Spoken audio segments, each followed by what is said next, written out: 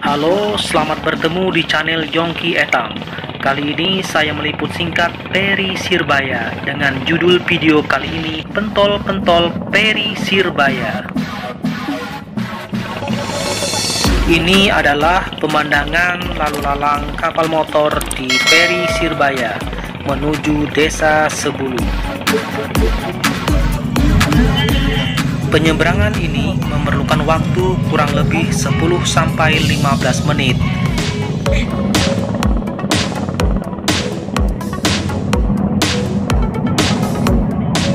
Nah, sekarang kami sudah sampai di dermaga feri. Sebelum melanjutkan perjalanan, kami istirahat sebentar dengan jajan pentol-pentol di area parkir feri menuju Sebulu. Ini dia judul video kita kali ini. Pentol-pentol Peri Sirbaya. Bapak yang satu ini selalu berada melayani dengan ramah para penumpang yang mampir membeli pentolannya di area parkir Peri sebelum meninggalkan atau menuju tempat tujuan masing-masing.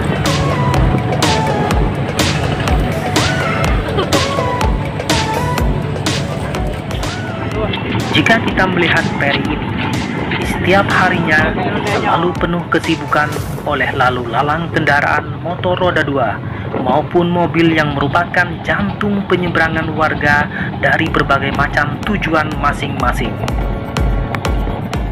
Bukan hanya desa sebelu, melainkan juga tujuan desa-desa dan kecamatan seperti Muara Kaman, Desa Separi Tiga, Desa Sedulang, Desa Melupan, Desa Manamang, Kecamatan Muara Bengkal, Kecamatan Muara Calong, bahkan Kecamatan Muara Wahau dan sekitarnya.